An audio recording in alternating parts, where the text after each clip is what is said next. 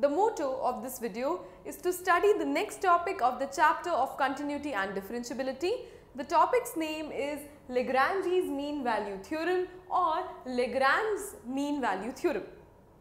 In the previous videos, we have talked a lot of topics about the chapter of differentiability and continuity and the previous topic was Rolle's theorem. This topic is Lagrange's mean value theorem.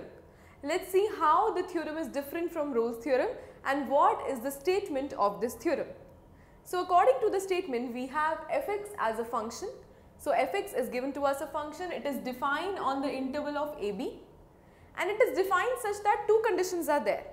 The first is that fx is continuous, the second is fx is differentiable. And what is important is not only that it is continuous and differentiable, but in what interval it is continuous? In the closed interval AB. In what interval it is differentiable? In the open interval AB. Now if you have watched the videos on Rolle's theorem, you might know that these two conditions were also there in the case of Rolle's theorem too. There was also a third condition in case of Rolle's theorem that is f of a is equal to f of b.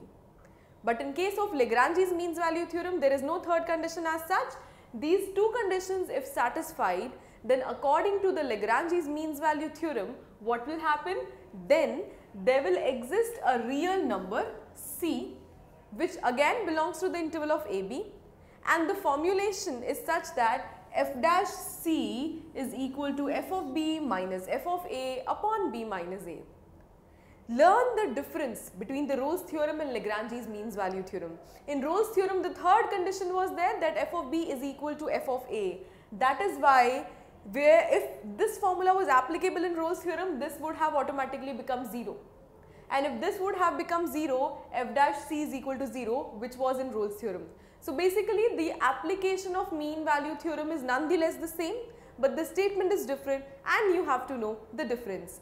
According to this video, we have started this statement, but in the next video, we will be understanding the geometrical interpretation of Lagrange's means value theorem.